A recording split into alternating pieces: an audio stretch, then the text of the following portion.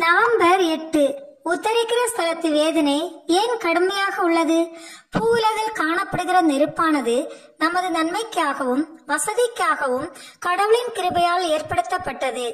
இருப்பினும் இந்த நெருப்பே துன்புறுத்த உபயோகப்படுத்தும் போது கொடிய வேதனை அளிப்பதாக இருக்கும் என்பதை அறிவோம். மாறாக கடவுளின் நீதியின் பொருட்டு நம்மை சுத்திகரிக்கவும் தண்டிக்கவுமே உத்தரிக்கிற ஸ்தலத்து நெருப்பானது ஏற்படுத்தப்பட்டது. எனவேதான் சிந்தனைக்கு எட்டாத அளவு வேதனையை ஏற்படுத்துவதாக உள்ளது. பூலக நெருப்பானது அதிகபட்சமாக மண்ணாலான நமது உடம்பை மட்டும் சுட்டரிக்கும்.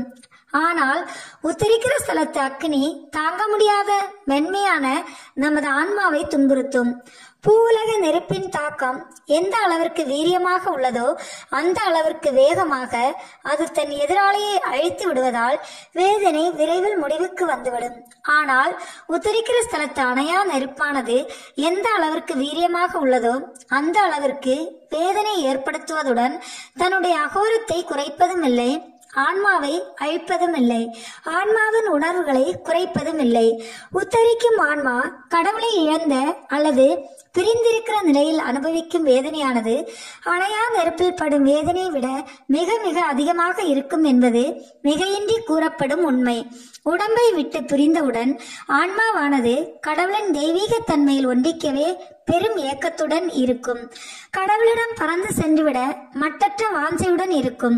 ஆனால் செயல்படுத்த முடியாமல் தடுத்து நிறுத்தப்பட்டிருக்கும் இந்த நிறைவேறாத ஆசையினால் ஆன்மா படும் வேதனையை வார்த்தைகளால் விவரிக்க இயலாது.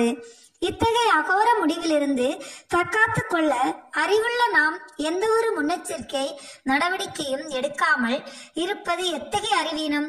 இப்படியெல்லாம் இருக்காது. இது எங்களுக்கு புரியவில்லை. இதை பற்றி பேச ஏன் நினைக்காமல் இருப்பதே நல்லது என்று சொல்வது அறிவற்ற குழந்தைத்தனம்.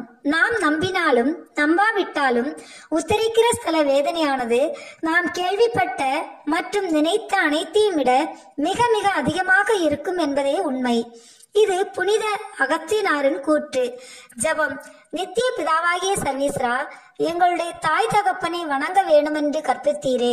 மறித்த எங்களது தாய் தகப்பனுடைய ஆத்மாக்களுக்கு கிருவை செய்து அவர்களுடைய பாவங்களை பொறுத்து நாங்கள் அவர்களை நித்திய பிரகாசமுள்ள உம்முடைய ராஜ்யத்தில் பார்க்கும்படி செய்ய வேண்டும் என்று தேவிரீரை பிரார்த்தித்துக் கொள்கிறோம் சுவாமி. ஆமேன்.